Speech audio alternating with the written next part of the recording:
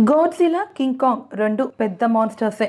Godzilla ముందట surrender కానిదే Godzilla వదలదు. కింగ్ కాంగ్ అసలు సరెండరే కాదు. మరి ఈ రెండు ఒకరినొకరు ఫేస్ అయినప్పుడు ఎవరు గెలుస్తారు? Godzilla versus Kong cinema announce చేసినప్పటి నుండి మన మైండ్లో వచ్చే డౌటే ఇది. మరి దానికి ఆన్సర్ ఏంటో ఈ వీడియో ద్వారా తెలుసుకుందాం. ఈ మూవీ గురించి సింపుల్గా చెప్పాలంటే marvellous mind blowing and mesmerising మరి పదండి స్టోరీ ఏంటో తెలుసుకుందాం.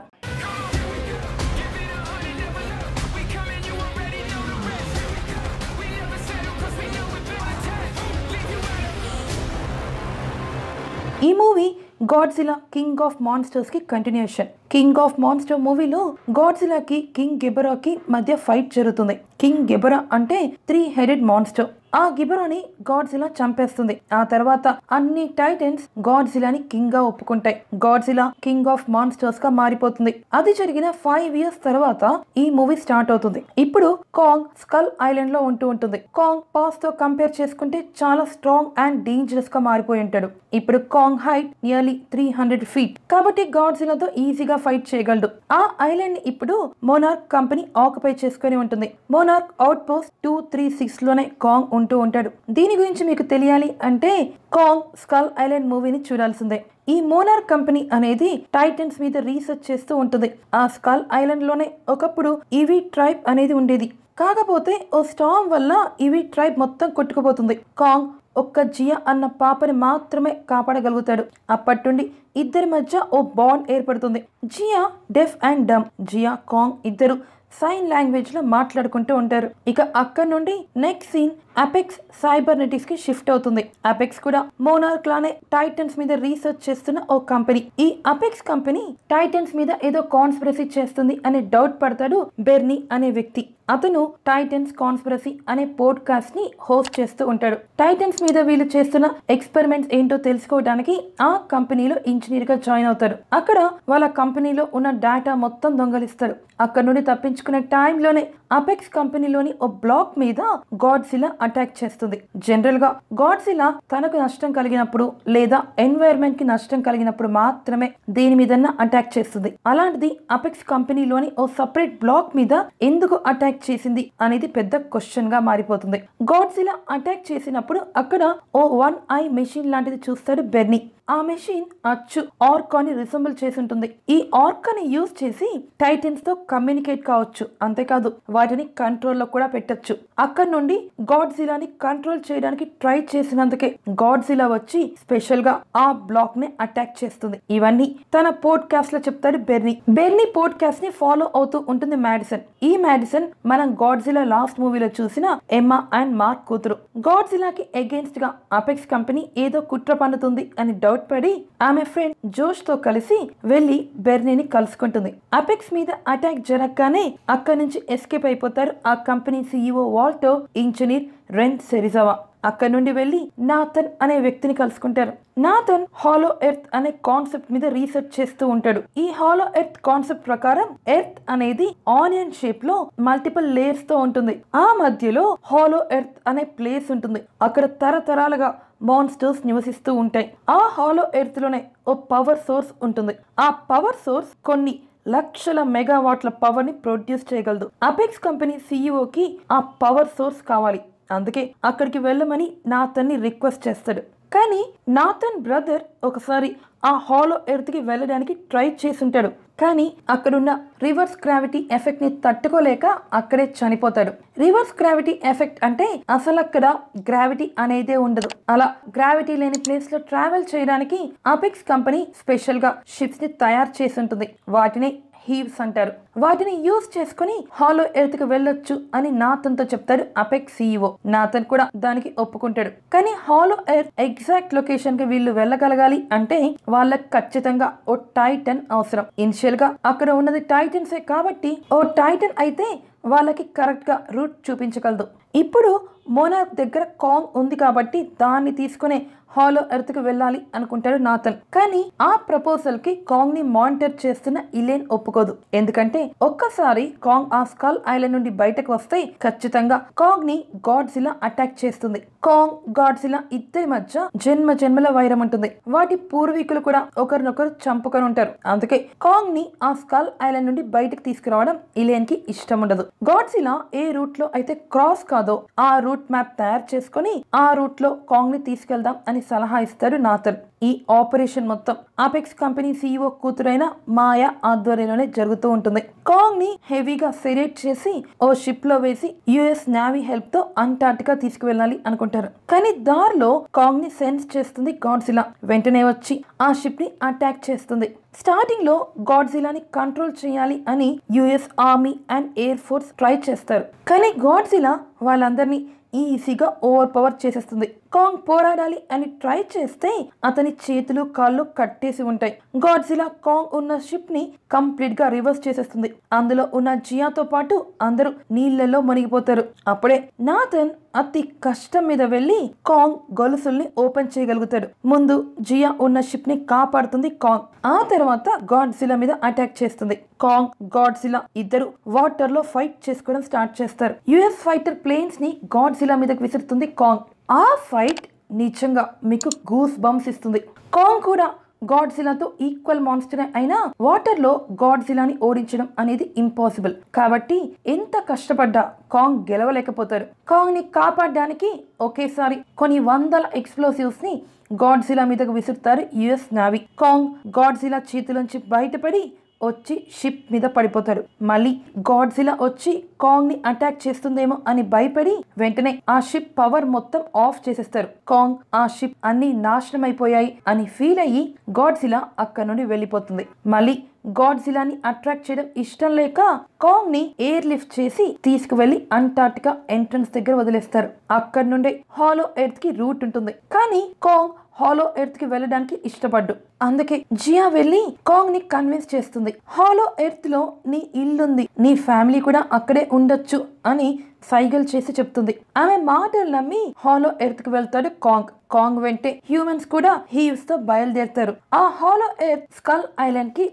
చాలా సిమిలర్గా ఉంటుంది. కానీ దానికంటే టెన్ టైమ్స్ హండ్రెడ్ టైమ్స్ పెద్దగా ఉంటుంది. అక్కడ ఇంకొన్ని మాన్స్టర్స్ కూడా ఉంటాయి. కాంగ్ అక్కడికి రాగానే ఓ రెండు మూడు మాన్స్టర్స్ అతని మీద అటాక్ చేస్తాయి. కాంగ్ ఆ మాన్స్టర్స్ని ఈజీగా చంపేస్తాడు. ఇక ఇటు బెర్నీ మాడిసన్ జోష్ ముగ్గురు అపెక్స్ బేస్కి వెళ్తారు. అక్కడ వాళ్ళకి అండర్ గ్రౌండ్లో ఓ సీక్రెట్ ఫెసిలిటీ కనబడుతుంది. అందులో స్కల్ క్రాలర్స్ ఎగ్స్ని చూస్తారు ముగ్గురు. ఆ ఎగ్స్ని మోనోరైల్లో హాంకాంగ్కి పంపిస్తూ ఉంటుంది అపెక్స్ కంపెనీ అక్కడ ఈ ఎగ్స్తో మాన్స్టర్స్ని తయారు చేస్తూ ఉంటుంది.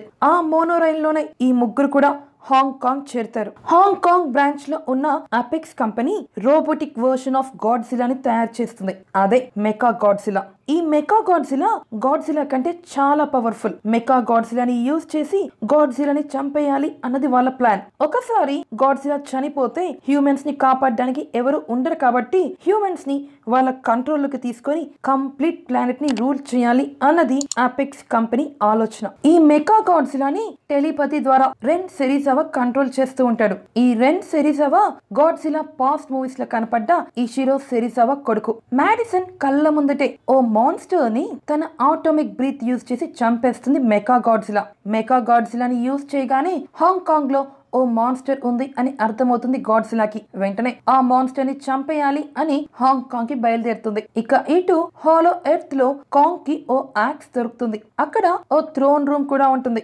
అక్కడే ఒకప్పుడు కాంగ్స్కి గాడ్జిలాకి యుద్ధం జరుగుతుంది ఆ యాక్స్ని స్కల్ క్రాలర్ తల నుండే తీస్తాడు కాంగ్. ఒకప్పుడు ఈ స్కల్ క్రాలర్స్ చేపట్టే కాంగ్ వంశం మొత్తం అంతమైపోయి ఉంటుంది. ఆ యాక్స్ని తీసుకొని అక్కడున్న థ్రోన్ రూమ్కి వెళ్ళి రాజ్యాలాగా సింహాసనం మీద కూర్చుంటాడు. ఆ సీన్ నిజంగా మైండ్ బ్లోయింగ్ సీన్ ఆ తర్వాత కాంగ్ అతని యాక్స్ని చార్జ్ చేస్తాడు. వెంటనే ఆ హాలో ఎర్త్ మొత్తం పవర్ జనరేట్ అయిపోతుంది. అపెక్స్ కంపెనీ వాళ్ళు అక్కడికి వచ్చింది ఆ పవర్ సోర్స్ శాంపిల్ని కలెక్ట్ చేయడానికి. ఈ పవర్ సోర్స్ శాంపిల్స్ని యూజ్ చేసే మెకా గాడ్జిలాని యాక్టివేట్ చేయాలి అనుకుంటారు. లాస్ట్ టైం ఓ మాన్స్టర్ని చంపినప్పుడు మెకా గాడ్జిలా జనరేట్ చేసిన పవర్ జస్ట్ ఫార్టీ పర్సెంటేజ్ అంతే. Mecha Godzilla hundred percentage power charge కావాలి అంటే కొన్ని లక్షల వాట్స్ పవర్ కావాలి. ఆ పవర్ని ఇక్కడ నుండి కలెక్ట్ చేయడానికి అంత కష్టపడి మరి ఈ హాలో ఎర్త్కి వస్తారు. ఇక్కడ ఓ పవర్ శాంపిల్ని వీళ్ళు కలెక్ట్ చేయగానే అపెక్ సిస్టమ్లో దాని కంప్లీట్ డీటెయిల్స్ డౌన్లోడ్ అయిపోతాయి. హాలో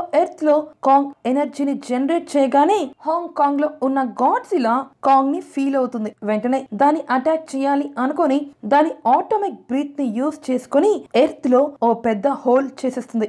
దాని బ్రీత్ వల్ల పై నుండి హాలో ఎర్త్ వరకు ఓ హోల్ పడిపోతుంది. ఇటువైపు కాంగ్ ఉంటే అవతలి వైపు గాడ్జిలా ఉంటుంది. మళ్ళీ ఈ రెండిటికి వార్ స్టార్ట్ కాకముందే అక్కడి నుంచి తప్పించుకు పారిపోవాలి అనుకుంటుంది మాయ. అందుకోసం కాంగ్ని షూట్ చేయడానికి కూడా వెనకాడదు. ఒకసారి కాంగ్కి బుల్లెట్స్ పడగానే కాంగ్ మాయ ఉన్న హీవ్ని డిస్ట్రాయ్ చేసేస్తాడు. అలా మాయ చనిపోతుంది. కాంగ్ తన యాక్స్ని యూజ్ చేసుకొని గాడ్జిలా వైపు పరిగెడతాడు. కాంగ్ని ఫాలో అవుతూ హాంకాంగ్కి చేరుతారు నాథన్ ఇలేన్ జియా. హాంకాంగ్లో ఓ వైపు కాంగ్ నిల్చుంటే మరోవైపు గాడ్జిలా నిల్చుంటుంది. ఇద్దరి మధ్య చాలా పెద్ద వారే జరుగుతుంది. ఇద్దరు ఆ సిటీని డిస్ట్రాయ్ చేస్తూ ఒకరి మీద ఇంకొకరు పడి కొట్టుకుంటారు. ఒక్క నిమిషం Kong US monster Godzilla Japanese monster మధ్యలో హాంకాంగ్ ఏం పాపం చేసింది? Bad joke at bad time కదా? సారీ గాడ్జిలా దాని ఆటోమిక్ బ్రెత్ యూస్ చేసి ఫైట్ చేస్తే కాంగ్ దాని యాక్స్ యూస్ చేసుకుని గాడ్జిలాని నరికేస్తుంది. ఆ దెబ్బకి గాడ్జిలా తట్టుకోలేక కింద పడిపోతుంది. ఇక గాడ్జిలా పని అయిపోయింది అని మనం అందరం అనుకుంటాం. కానీ ఫ్యూ మినిట్స్ లోపే మళ్ళీ లేచి కూర్చుంటుంది గాడ్జిలా గాడ్జిలా కొట్టిన దెబ్బకి కాంగ్ షోల్డర్ డిస్లొకేట్ అయిపోతుంది.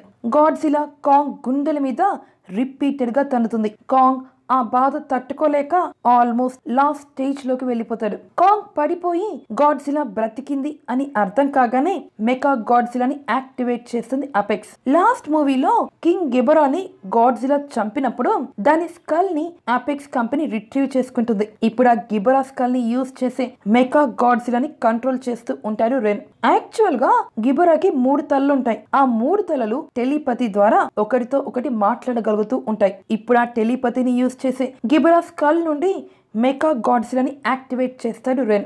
మెకా గాడ్సిలాని ఫుల్ పవర్తో యాక్టివేట్ చేయడానికి హాలో ఎర్త్ నుండి కలెక్ట్ చేసిన పవర్ శాంపిల్ని యూజ్ చేస్తారు. ముందు టెస్ట్ చేయండి. దాన్ని యూజ్ చేయడం రెన్కి ఇష్టం ఉండదు కానీ అపెక్స్ కంపెనీ సీఈఓ బలవంతంగా యాక్టివేట్ చేస్తాడు ఆ పవర్ సోర్స్ నుండి వచ్చే ఎనర్జీ తట్టుకోలేక రెన్ ఎలక్ట్రోలైట్ అంటే ఎలక్ట్రిక్ షాక్ కొట్టి చనిపోతాడు. కింగ్ గెబరా స్కల్లో ఇంకా గెబరా ఆత్మ బ్రతికే ఉంటుంది. ఇప్పుడు అది మెకా గాడ్జిలాని కంప్లీట్గా తన కంట్రోల్లోకి తీసుకుంటుంది. ఫస్ట్ అపెక్స్ కంపెనీ హెడ్ వాల్టర్ని చంపేస్తుంది. ఆ తర్వాత గాడ్సిలా మీద పగ తీర్చుకోవడానికి దాని మీదకి వెళ్తుంది. మెకా గాడ్సిలా ఇప్పుడు కంప్లీట్గా గిబరాలా మారిపోతుంది. గిబరాని చంపినందుకు గాడ్సిలాని చంపడానికి ట్రై చేస్తుంది మెకా గాడ్సిలా. గాడ్జిలాని చాలా దారుణంగా కొడుతుంది. మెకా గాడ్జిలాని ఎదిరించేంత పవర్ అసలు గాడ్జిలా దగ్గర ఉండనే ఉండదు.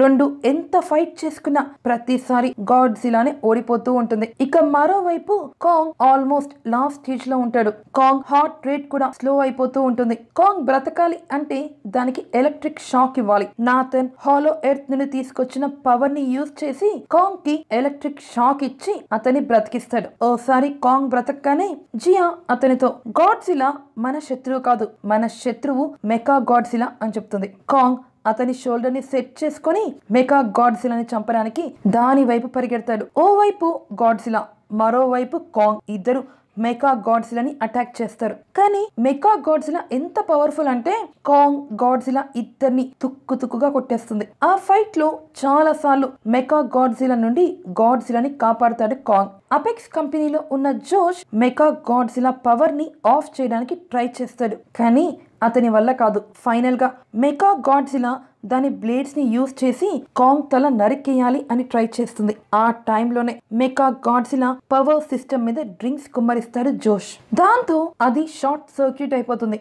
మెగా గాడ్జిలా కాసేపు ఆగ్గానే కాంగ్ యాక్స్ని తన ఆటోమిక్ బ్రీత్తో చార్జ్ చేస్తుంది గాడ్జిలా. ఆ యాక్స్తో మెకా గాడ్జిలాని ముక్కలు ముక్కలు చేసి చంపేస్తాడు కాంగ్. ఓసారి మెకా గాడ్జిలా చనిపోయిన తర్వాత మళ్ళీ కాంగ్ గాడ్జిలా ఇద్దరు ఒకరినొకరు ఫేస్ అవుతారు. కానీ ఈ ఈసారి కాంగ్ అతని చేతిలో ఉన్న యాక్స్ని కింద పడేస్తాడు. ఓ రకంగా నీతో యుద్ధం నాకొద్దు అని చెప్తాడు. గాడ్జిలా కాంగ్ మీద రెండు సార్లు గర్జించి మళ్ళీ సముద్రంలోకి వెళ్ళిపోతుంది. అంటే దాని భాషలో నన్ను కాపాడినందుకు థ్యాంక్స్ అని కాంగ్కి చెప్తుంది. ఆ తర్వాత మనకు కనబడేది ఏంటంటే కాంగ్ ఇప్పుడు హాలో ఎర్త్లో నివసిస్తూ ఉంటుంది. ఆ హాలో ఎర్త్లో కూడా మోనార్క్ వాళ్ళు ఓ స్టేషన్ని క్రియేట్ చేస్తుంటారు. ఇది గాడ్జిలా వర్సెస్ కాంగ్ స్టోరీ ఓవరాల్గా ఈ మూవీ చాలా వండర్ఫుల్గా తీశారు. మరి ఈ సిరీస్ని ఇక్కడతో క్లోజ్ చేస్తారో లేక కంటిన్యూ చేస్తారో చూడాలి. ఈ మూవీ మీద మీ ఒపీనియన్ కింద కామెంట్ సెక్షన్లో రాసి మాతో పంచుకోండి. మరో వీడియోతో మళ్ళీ కలుద్దాం. అప్పటి వరకు సెలవు.